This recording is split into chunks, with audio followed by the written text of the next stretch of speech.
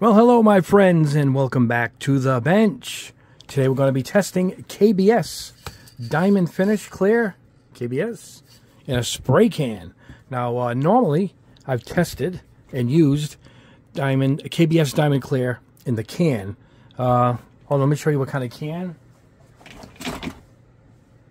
Yeah, it was in uh, one of these type of cans, and it was in. This. This is a can of primer I just got from Duplicolor. I'll be testing. And um, I just got tired of opening up with the screwdriver and then it kept getting bent. And it was a little messy putting the lid back on. I poured it into this mason jar, uh, which is awesome. It seals it up. It's easier for me to open. It's airtight because it's it's a mason jar. I just labeled it KBS. But uh, yeah, I've been airbrushing this. This is the thinner I use, their own thinner. Um, I was told I can use acetone or lacquer thinner. Um, and then somebody recommended only using theirs, but I'll be testing that at another point. But that's not the point of this video. The point is I can now have it in a spray can for some of you guys out there who still just brush on or uh, spray can your stuff. I know I do a lot of airbrushing here, but I also do some spray cans. And if this is good, and it goes on as good as that, we have a winner. Now, unfortunately, this skyrocketed in price I think it recently was over 40, 50 bucks. I originally paid like mid 20s for this can. And boy, the last time I, I posted for you guys a link, it was close to 50. If not, it was 50. That's a little outrageous. These are 25 bucks a piece. Now, there's a lot in here. This is a big can. It's heavy, too. So, I'll, um, at 50 bucks, you're going to get clear, and get this, satin finish. I didn't see satin finish in the can. Maybe it's out there. I didn't see it but they have satin finish now um, in a spray can. So that's a bonus. So at 50 bucks, it looks like you're getting just about the same amount in here, and you can get two shades, you know, glossy and satin. So fingers crossed, this stuff works. Because if it does, um, sometimes I need to clear something quickly just for a test without having to mix anything up. I can just pull out this can and uh, use that. So I'm hoping it goes on nice and it dries just like this. Uh, so for the test, I think we'll see how it goes over plastic. So we use the same plastic part here from a Gunpla kit. So I'll do one shiny, the gloss, one satin. We'll see how that ends up.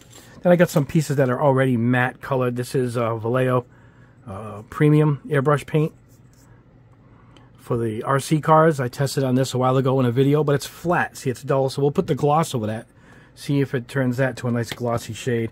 Then I have like the shiny black spoon. We'll put the matte over the satin over that.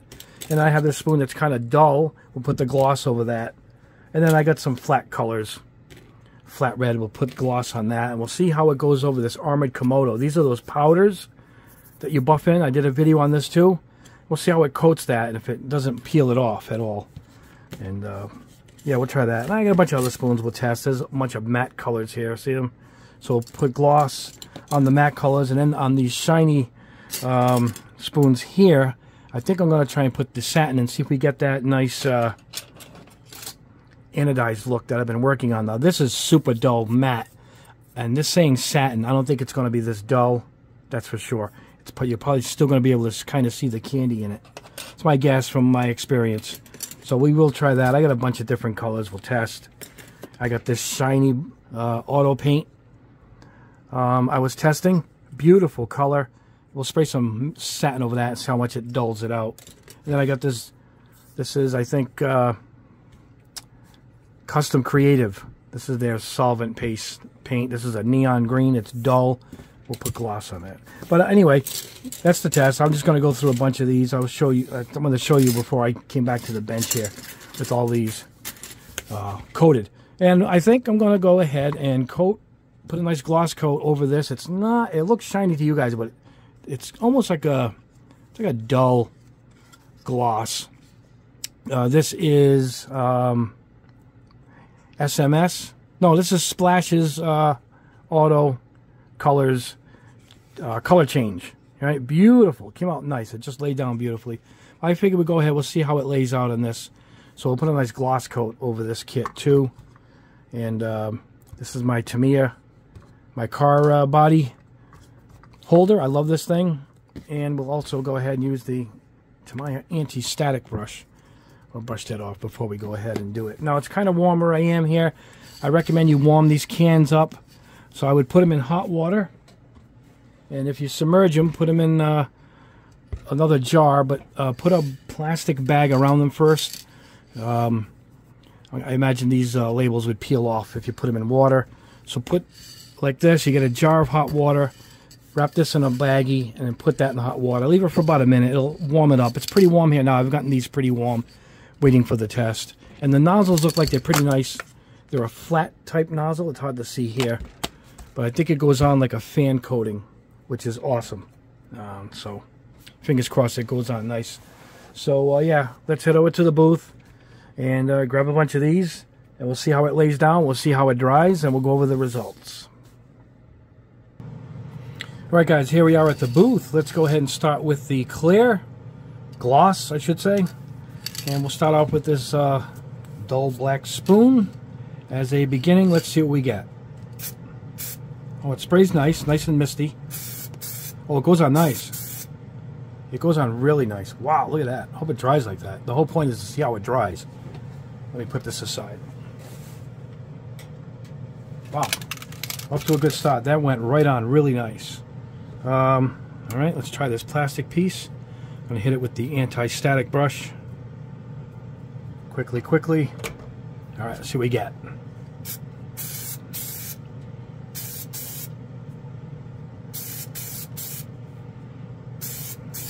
All right, we'll put that aside. Looks like it laid down nice.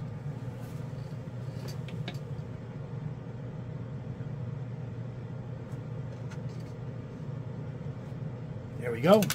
All right, let's try this dull red spoon. What is this? Vallejo Model Air Red. There you go. We know exactly what it is.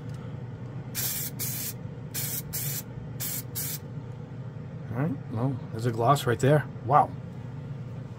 Now, it all depends on how it dries, you know, guys?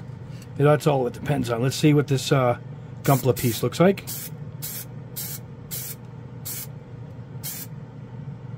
There we go. Now, it could lift up this paint. I don't know. That's why we're going to try. Find out. I know it'll work good over solvent paints, no problem. All right, let's go again. All right.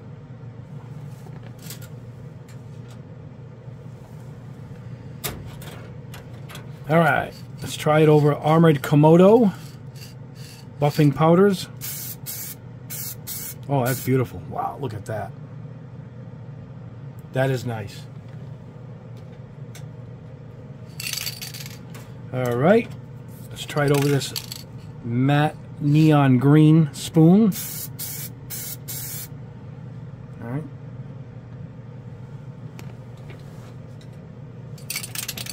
All right, here we go. Car body time. All right, I can see a lot of dust on this, so let's go ahead and dust it off. We have to hit it just before we hit it with the paint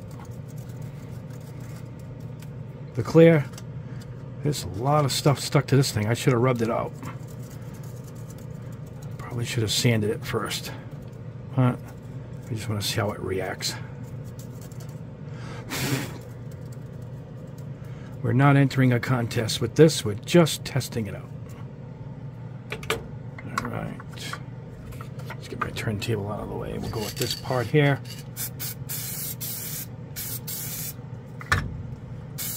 Easier for me to hold it like this.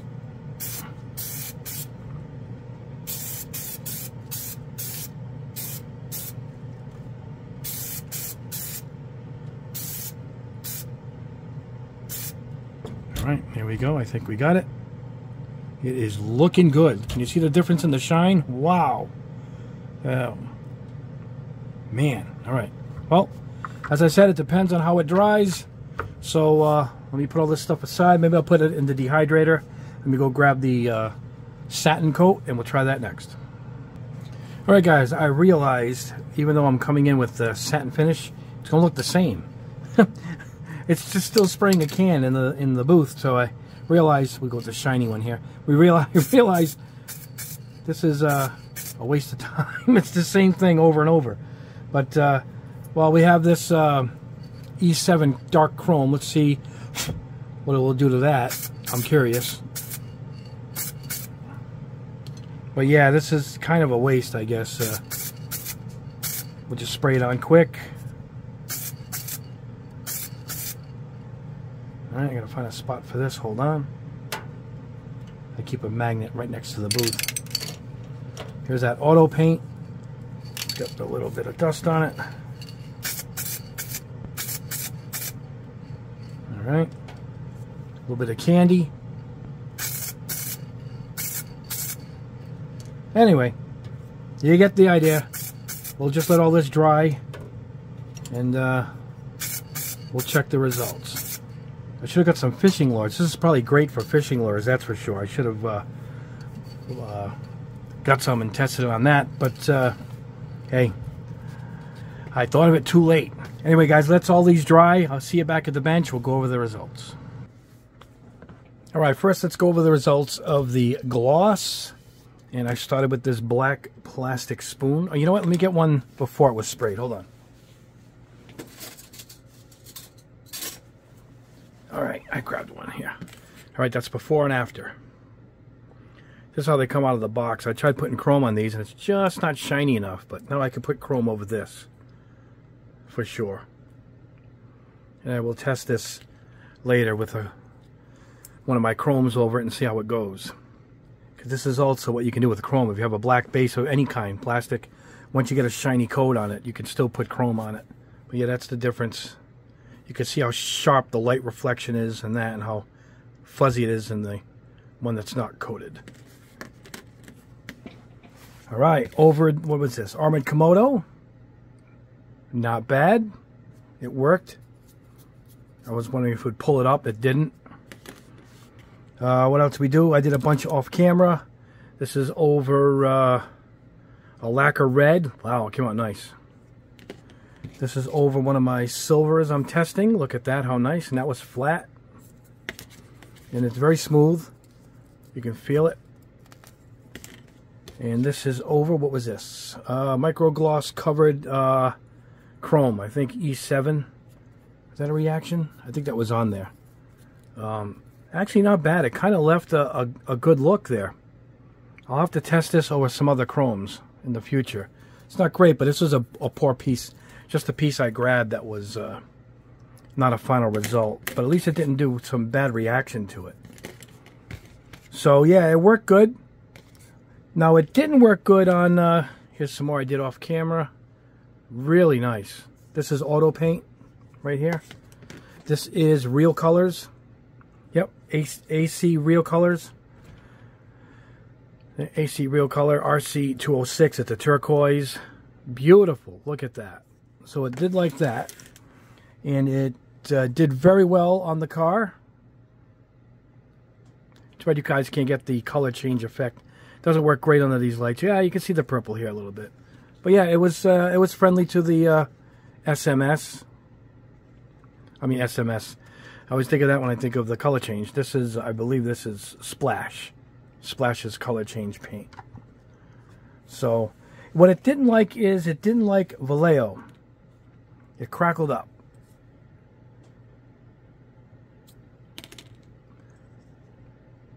It just didn't like it. This is the premium paint. And uh, I thought this was custom creative. It isn't. It. I think it's uh, one of my uh, Vallejo paints because I matched the color. It doesn't look like the same green. But it this is gloss. Look how dull it is. It just absorbed right into it. So it absorbed into this. And it crackled up this. You know. So definitely needs a coating on it first. And then I would go in and hit it with it. It doesn't like the Gunpla plastic. In particular this one. Can you see it? So I wouldn't use it on that. No, I didn't try other plastics. I just grabbed this out of one of my kits, and uh, it was a no. So, uh, it's hard to say. It goes well over, I guess, these auto colors, in particular these lacquers. So, uh, it plays nice with them for sure. And it, you know what, though? It lays down nice. It dries nice. I look at it.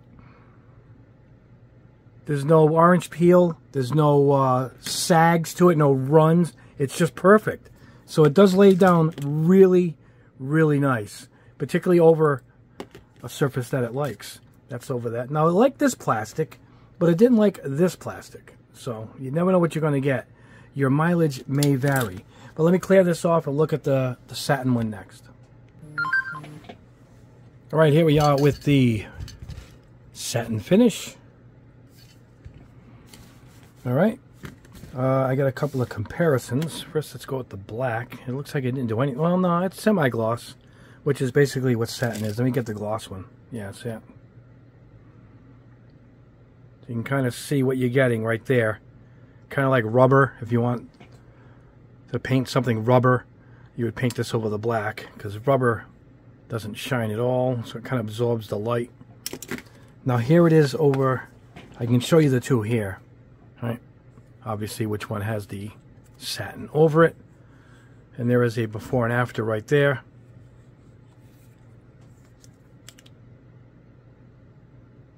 All right.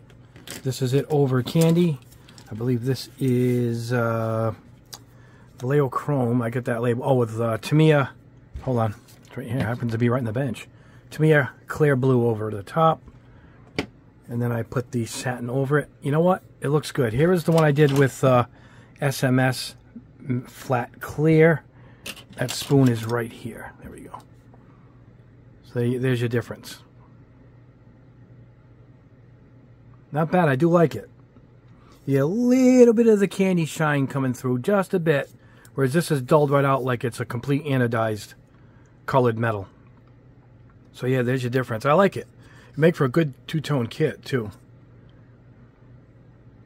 Yeah, so this is the flat clear, so that's totally flat. And there you go, there's satin. So you can see the difference in satin versus matte right there. Great comparison. This is it over the Armored Komodo. Dulled it out. Where's the one for... I don't see it anymore. Oh, here it is.